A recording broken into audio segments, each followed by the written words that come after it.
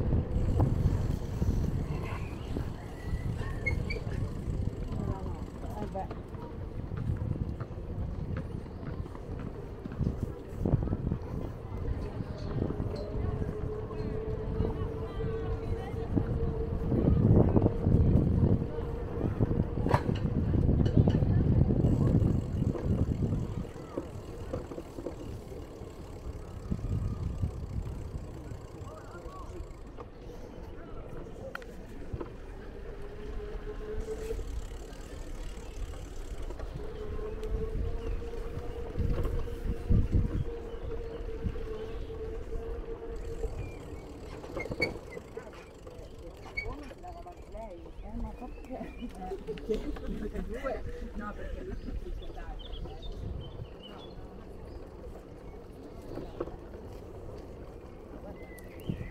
Te lo giuro.